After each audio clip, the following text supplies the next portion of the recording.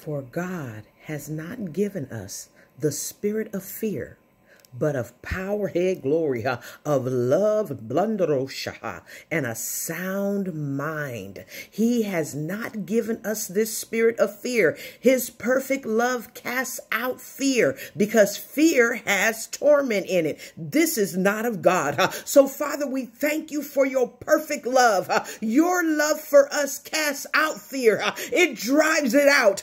And we bless your name today.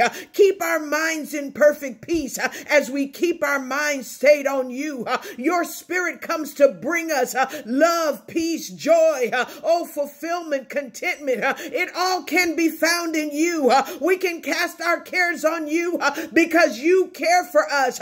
You give us power. You give us love and a sound mind, and we embrace your gifts. We embrace it. We embrace your gifts so that we can share them with others.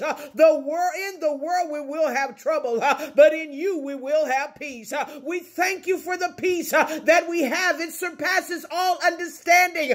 People will not understand our peace, but help us to share the peace of God with others. The reason for our peace, the reason for our hope, uh, the reason for our joy, uh, the reason for our success in life uh, is all because of you, Jesus. And we lift your name and we bless your name and we magnify your name today.